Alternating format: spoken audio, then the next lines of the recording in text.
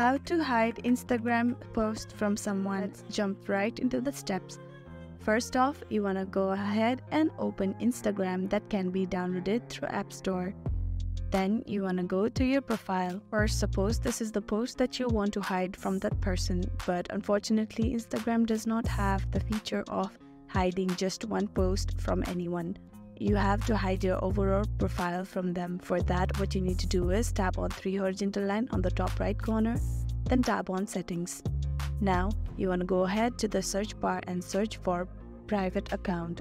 Now go ahead and tap on it and you have to turn this on to turn on, all you have to do is just tap on it and tap on switch to private. As you do that, all the posts on your profile will be only be seen by your followers and not others. You have to allow by accepting their request to follow you.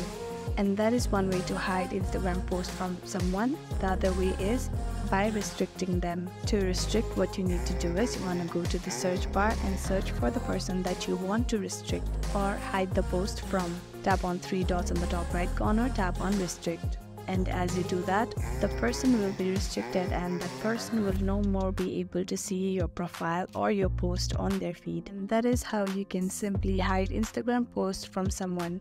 I really hope this video helped you out. Thank you so much for watching till the end.